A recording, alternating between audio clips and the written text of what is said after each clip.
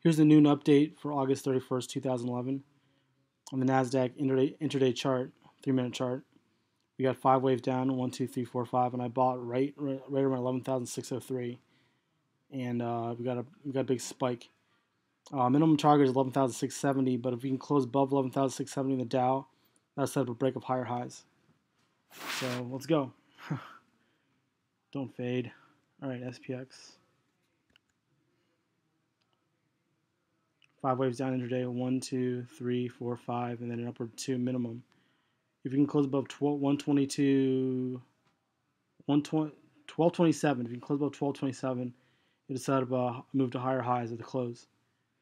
And uh, worst case is upward two before downward C, but um, so far so good. Look at the Dow again.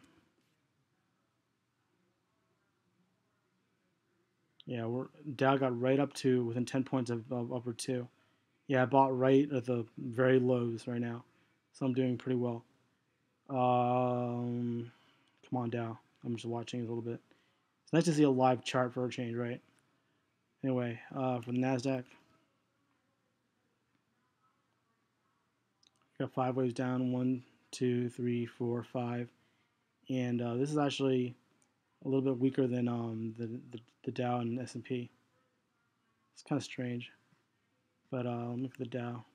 Well, Nasdaq upper two would be around uh, 2601 for the Dow. Let me look at the Dow again. Live charts, pretty nice. All right, we got a whole 0.618 around 11,622, and then rally back over 11,660. Okay. So basically, we have five waves down, upward two, or beginning of a new impulse. So we got to close above 11,670 in the Dow.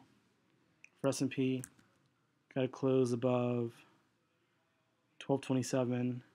And for NASDAQ, we got to close above uh, 2601. It's a wrap.